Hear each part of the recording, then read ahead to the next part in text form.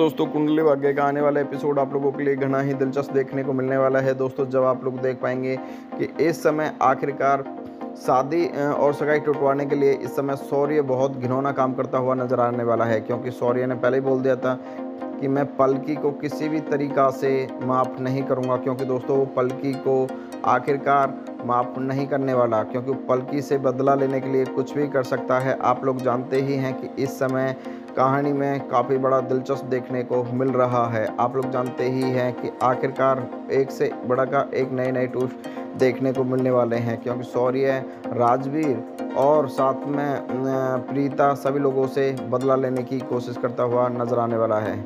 आप लोगों को बता देना चाहता हूँ, इधर करण भी थोड़ा चिंतित नज़र ज़रूर आ रहा है। आप लोग जानते ही हैं कि आने वाली कहानी एक नया दिलचस्प मोड़ लेकर आ रही है। आप लोगों को बता देना चाहता हूँ कि आप लोग जानते ही हैं कि इस समय आखिरकार बात की जाए तो सगाई टूटने के बाद में और भी बड़ा दिलचस्प नज़र आने वाला है, क्योंकि सगाई टूटने के बाद में राजवीर फाइनली खुश तो नज़र आने वाला है, क्योंकि राजवीर चाहता भी यही था, क्योंकि राजवीर और राजवीर के साथ में आप लोग जानते ही हैं कि एक दूसरे से बेहद ज़्यादा प्यार करते हैं पल की।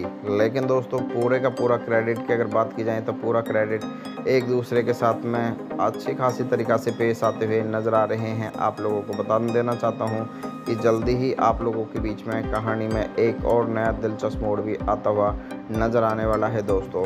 आप लोगों को बता देना चाहता हूँ कि जहाँ पर प्रीता को पता चलेगा कि शौर्य इस समय बहुत घटिया खेल खेल रहा है। साथ ही दोस्तों, आप लोगों को बता देना चाहता हूँ कि आने वाली कहानी एक नया मोड़ तो लेकर आ ही रही है। साथ में दोस्तों, आप लोग देख पाएँगे कि किस तरीक़ा से लगातार सभी लोग कन्फ्यूज़न की स्थिति में हैं। साथ ही दोस्तों चैनल को सब्सक्राइब करें वीडियो को लाइक करें कमेंट करें।